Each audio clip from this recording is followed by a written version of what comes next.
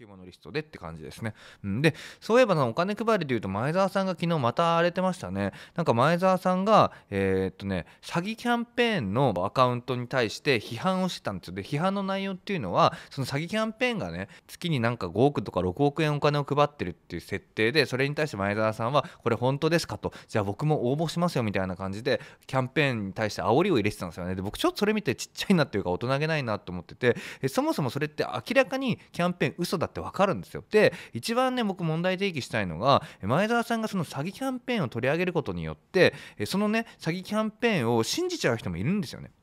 世の中にはやっぱ頭のいい人ばっかりじゃないんで頭の悪い人なんかはえこのこれでお金もらえるのかなと思って詐欺キャンペーンに引っかかっちゃって結果的にカード情報を抜き取られてしまって犯罪被害に遭ったりとかいろんな展開って想像できると思うんですよ。でそれで前澤さんぐらいの立場の人がえそういう詐欺キャンペーン躍起になって応募してねなんか晒し上げるっていうのはちょっとなんか本当になんか最近なんか切羽詰まってんのかなと思って心配になっちゃいましたね。でね多分なんで前澤さんがその詐欺キャンペーンにすごく怒ったのかっていうと僕なんか見ててこれ推測ですよ。僕の推測なんですけど一つ思うところがあって、えー、その詐欺キャンペーンが、えーと、こうつぶやいてたんですよ、えーと、どっかの誰かさんみたいにフォロワー全員にお金配りと称してアプリに誘導したりなんか絶対しませんよみたいなことを書いてあってそれが多分前澤さんのことを多分指してたんだと思うんですよね。で多分それに頭が来たのか分かんないんですけど前澤さんは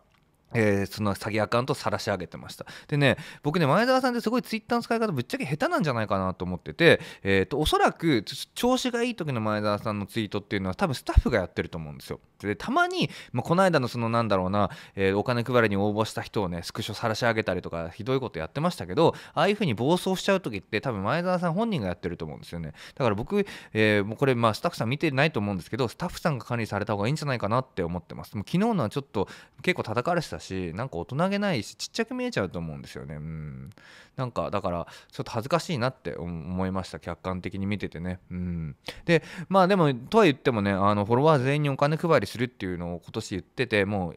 9月10月になりますけどあと3ヶ月間なんでどっかのタイミングで前澤さんフォロワー全員にお金配ると思うんですよ。あの、まあ、前澤さんぐらいの人になると絶対嘘はつけないと思うんで何らかの形でお金配りすると思うんで、えー、まああのこれからね